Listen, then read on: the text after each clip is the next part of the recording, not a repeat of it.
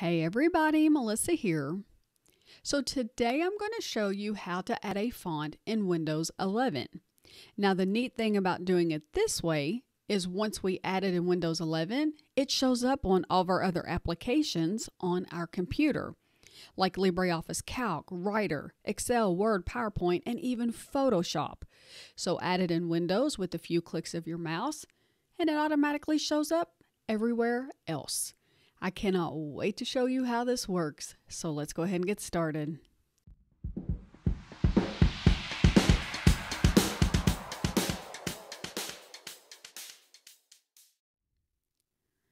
My favorite source for new fonts is 1001fonts.com.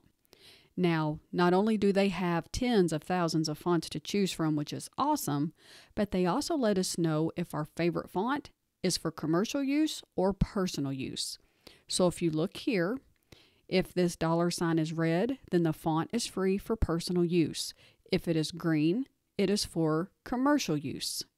Now, the difference is if you're using this font to distribute an email or something within your office, then you're probably okay using a personal use font. If you're doing something like I am, or you're printing t shirts, or you're selling something, then you need to pick one that is for commercial use so you do not get into legal trouble. So I'm going to scroll down and find one that is green. And we have some here, and I like clap hand regular. So if we go over to a couple of our applications like Photoshop and we try to find this font, it says it, it does not exist. Microsoft Word, it says if you continue, it will be saved as a, the current font and it's not available, so we know it's not there. And in LibreOffice Calc, we can do the same thing, type in clap, and it does not exist there either. Now we're going to see how adding this font to Windows will make it available in all of our applications. So now we want to download our font. If we go to download, if you notice it's downloading it into a zip file into our downloads folder. So we want to double click on the zip file in our downloads folder and we will see several different file types. We have a JPEG, we have a text document that contains our licensing, we have a TTF and an OTF. So let me explain the difference between a TTF and an OTF. 99% of the time, you want to use the OTF. So TTF or True Type font is an older technology for fonts, and OTF or Open Type font is a newer technology that has more capabilities, including being able to use them in vector images, and the font stay crisp, clear, and clean. So if you have an older technology that you're trying to use a font for, and it's not taking the OTF, then try the TTF, but you should be okay using OTF. So now we want to double click on Open Type Font. And you can get a preview of what the font is going to look like in different sizes. And we're going to go up to Install. And it doesn't take but just a few seconds. If you notice, the install box popped up and went back down before I could even tell you it was doing it. So that's really good. So if you want to verify that your font has been installed on your computer, which I generally do, it puts them in your C drive under Windows and Fonts. Now, this has all of your fonts across all of your applications, and putting it in here is what gives us the ability to see it everywhere. So you can go up to Search Fonts and type in Clap, and then it'll show you that Clap Hand Regular is within our Fonts folder.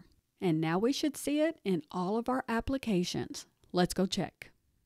So, really quick before we start testing this out, I wanted to let you know that I tested it out earlier on my own, so it's going to show up in my recently used. If it's the first time you've used your font, you can either type it in and hit tab, or you can scroll down your list and find it.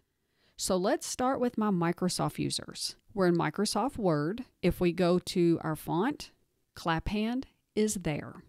In Excel, if we go to our font and we type in Claphand, and hit Tab, it's there.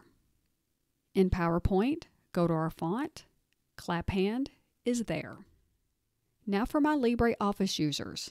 I'm in Writer, so go to Font, and Claphand is there. In LibreOffice Calc, go to Font, and Claphand is there.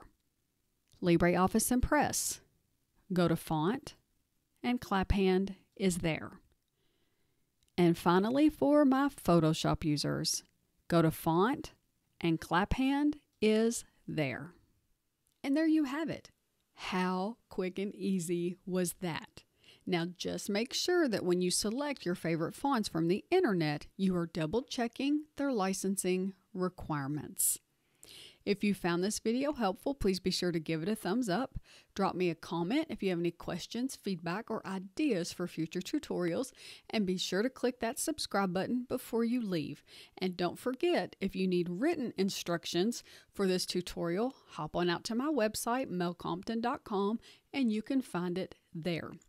And I'll see you in the next tutorial. Until then, thanks so much for watching.